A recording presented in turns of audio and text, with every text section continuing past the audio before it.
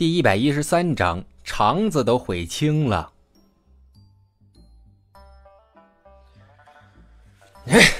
这帮混蛋到底发什么疯啊？还让不让人睡觉了？陈金掀开了被子，猛地坐了起来，双眼通红的叫道：“好不容易睡着了，本打算睡一个回笼觉，结果鸡飞狗跳，孩子哭，大人笑的呀，这觉啊还怎么睡呀？”陈金一摸身边空了，一看老婆早已不在了，依稀听到外面他老婆和别人说话的声音。这一大早上的，他跟谁出去凑热闹呢？陈金不满地嘀咕着。陈金听着外面兴奋的叫声，也耐不住心中的好奇，穿鞋下地出去看情况。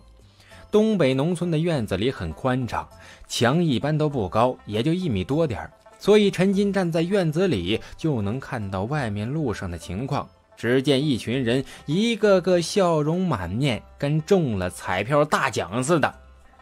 陈金呐，你昨天咋没上山呢？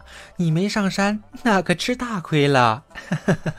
一名女子大笑道：“我没笑出来啊，不就少吃点腊八粥吗？就算好吃，又能咋的？香香嘴巴，臭臭屁股。”有啥了不起的？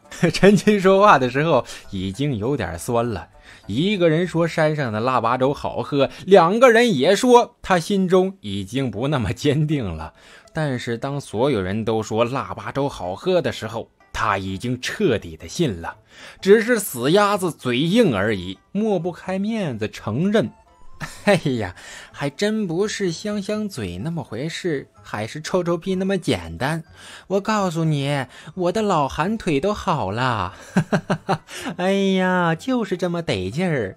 那女子兴奋地踢着腿叫道：“扯淡，喝个粥还能治病呢？”陈金根本就不信。出了院子，就看到谭勇等人也都凑了过来。一见面，谭勇就问：“大家有没有什么感觉特别的呀？”有啊，我的老寒腿好了。嗯呐，我的肩周炎也好了，也不疼了。哎呀，我的，我我我肺感觉也舒畅了，也也不咳嗽了。哎呀，腰不疼，嘴不酸了，抱我的外孙都有劲儿呢。一名满头白发的老婆婆哈哈大笑道，众人也是跟着笑。这时候，宋二狗也来了，大老远的就叫道：“嗨！”还以为只有我得了好处呢，原来大家都有好处啊！真神奇呀，这腊八粥喝的好啊！哈哈哈哈哈！哎，谭谭谭勇，你呢？你咋样啊？谭勇老脸一红，道：“呃，那个也有好处，但是你们就别问了。哎，不会那个啥毛病吧？”宋二狗用一副大家都懂的眼神看着谭勇，谭勇顿时火了。啥啥啥呀！我我痔疮好了，行了吧？真是的，十人九痔，别告诉我你们没感觉。哈哈哈哈还真是啊，我的也好了。宋二狗嘿嘿笑道，其他人也是跟着笑了。显然大家都被治好了。看到这一幕，陈金忽然发现，他似乎真的错过了什么。就在这时，谭举国和王佑贵来了。陈金立刻叫道：“村长啊，苏家，你们可算来了！这些家伙大早上的就在这就在这恶心我呀，还还说什么喝粥治病，一个个的摆明了就是商量好的来忽悠我吗？这事儿您得给我评评理呀！”王佑贵哈哈大笑：“哈哈哈哈！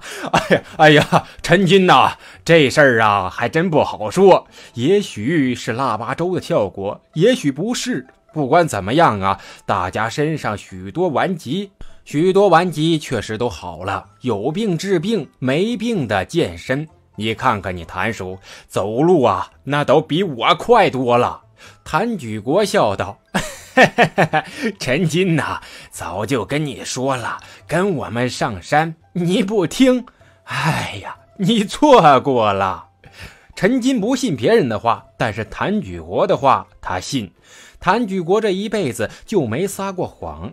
想到此，陈金傻眼了。一碗腊八粥竟然还有如此的效果，这可能吗？没等陈金反应过来，陈金的老婆苏红急了，啪的一下子就给陈金脑门子上一巴掌，道：“你呀你呀，鬼迷心窍！我让你上山你不去，我上山你也不让，你说说你，不说你了。”说完，苏红就走了。陈金赶紧问道：“哎哎哎，你干嘛去啊？”“哼，我上山，我看看方正还有没有腊八粥了。不行。”我必须得喝一口，否则我不甘心呐！苏红说着话，已经加快了脚步了。陈金见此，气得大叫道：“你，你给我回来！去怎么去啊？昨天不去，今天咋还有脸去呢？”陈金啊，你就是死要面子活受罪。不过今天上山真的就没戏了。方正说了，腊八粥只放一天，第二天一律不提供。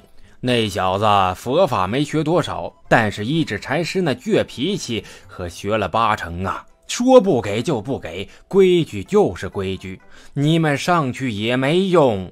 王佑贵道。陈金苦笑道：“ 哎，是是是，我知道。不过我总得让苏红回来吧。”说完，陈金就追了上去。而此时此刻，方正将寺院打扫干净。然后在山头上转悠着，他也该考虑一下寺院规划的问题了。一指山虽然陡峭，但是山顶空间不小，具体多大，方正也没个数。不过这里真的很大，一指山前半截都是平坦的平地，这里只有草地、小树，还有寺院。再往后，那就是一个如同人指甲般凹起的山峰，那里树高林密。松树一根根笔直，宛若一把把长枪。如今落了雪，雪白一片，但是树林中却是一片乌黑。那里方正除了能捡柴禾呀，平时是不去的。看着这片空间，方正摸着下巴道：“嗯，哎也不知道白云寺有多大。我这山顶上建造一座大寺院，应该不成问题吧？嗯，就差钱儿了。”嗯，就差钱儿了。只要钱够，吃得了辛苦，一切都不是问题。我身上的钱虽然不少，但也不够花呀。方正摇了摇头，带着独狼和松鼠绕了一圈，回到了寺院。结果门口就看到有人在那儿等着。走进去一看，方正笑了：“阿弥陀佛，两位施主。”你们坐在门口干什么？烧香去佛堂就行了。哎，方正，你可回来了。婶子问你，你还有粥吗？苏红一看到方正，立刻来了精神，不管陈金怎样的拉扯，连忙的问道。方正愕然，看看苏红，再看看一脸通红、低着头不吭声的陈金，苦笑道。两位施主，贫僧的腊八粥昨天已经发完了，嗯，一点都没有了吗？苏红不死心，方正心头苦笑，有，他倒是想有啊，问题是系统一粒米都没给他剩下呀。于是方正道：“呃，真没有了。两位想喝的话，只能赶明年了。两位昨日为什么没有来呢？”